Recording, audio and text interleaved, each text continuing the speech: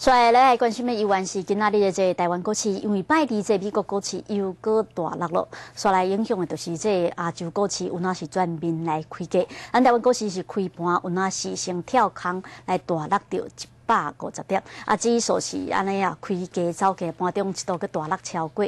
两百点，今仔在八大类股吼是全面拢倒啊，啊，这电子金融加这传统业类股拢落了诚深，啊，半面上只有这电信啊，甲一寡有实施这库藏股的这个股票，算做有较无落啊，有哪有一寡这哦起来的所在，啊，毋过分析师是表示讲吼，即马全球的这经济衰退，那亲像是继续伫扩大，所以大股这系统性的风险依然是算做是悬的，所以投资人即马是爱。较谨慎的。下摆来看，就是这台北地方法院真系是规定来审理着前调查局长叶小无牵涉着暗砍公文这个案件，同时用这证人的身份来团结前总统陈水扁告场的水平。啊，毋过陈水扁是来强调讲，这叶小无交互的毋是公文，是一寡证据。上午九点二十二分，陈水扁提早抵达台北地院，以证人身份出庭。而日前被当庭收押的叶盛茂，也一早从台北看守所被借提，搭着囚车到达地院，准备和陈水扁就隐匿公文案当庭对质。合庭受命法官首先就公文部分讯问陈水扁是否看过调查局呈报泽西岛和开曼群岛金融情报中心所制作的公文，并且一一提示相关文件。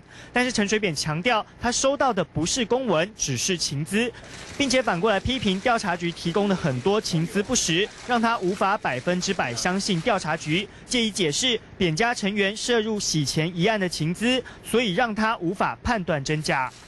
加上叶盛茂日前因为追加起诉的图利罪而被当庭收押，寿命法官也把握时机一并讯问扁家涉及海外洗钱的案情。法官还逐一提出陈志忠、黄瑞进和吴淑珍哥哥吴景茂海外账户的资金流向，陈水扁则是冷静应答，强调他一概不知情，并且声称吴淑珍告知他资金遭冻结之后，他才知道海外有汇流的资金。至于海外复杂的汇款方式，陈水扁转述这是吴淑珍委托信得过的李专所做出的安排。记者蒋瑞谢奇文、陈立峰台北报道。所以来看这上新的消息，就是台中市这议长张丰年讲牵涉到替替着这开电动的这业者来关税，也过来替因讲有来申请这这叫这种代志。啊，阵啊讲来提一寡这可米上甲乌西，这个代志或者台中地检署透明的证实了后，有哪向这地方法院申请羁押，啊，最后法院是裁定公用五百万交保。真正老爷真顺，台中市局长张宏年被检方申请羁押，早起裁定五百万交保。张宏年加出地检署，大声为家己讲话。检察官真的是先入为主的观念，他一直认为说，我就是他把我列入贪污了。前一天被检调约谈，到半暝一点外，台中市议长张丰年搁一摆强调家己是清白的，认为检察官无问清楚就凊彩甲升压。张丰年的家人甲支持者嘛到场关心，表示相信伊的清白。这次检调怀疑张丰年疑似为电源业者关税，摕到营业执照。张丰年强调，甲可信业者确实早就熟悉啊。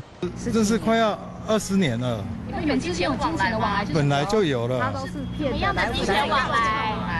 本来就有了，本来就有。金钱往来，就说借借贷。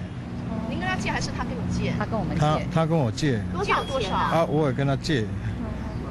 张宏年强调，八大行业已经下发，那有需要搁再关税？不过检调伫侦办电源业者甲环境互相交接，都别查起的是，对此局长张宏年威胁涉嫌重大，毋若对发牌照的持府官员施压，有业者一口气就摕到两张牌，同时搁收处理费，已经每个月红利。张宏年强调家己的清白。